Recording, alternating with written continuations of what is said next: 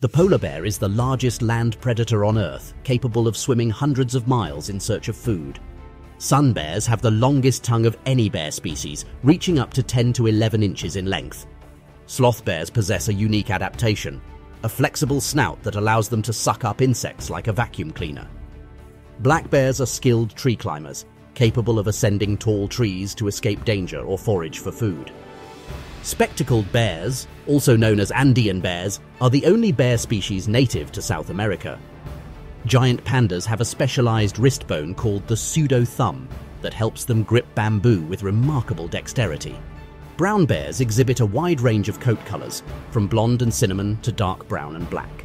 Asiatic black bears, also known as moon bears, have a distinct V-shaped white or cream-colored marking on their chest. The grizzly bear, a subspecies of the brown bear, can run as fast as 35 miles per hour over short distances.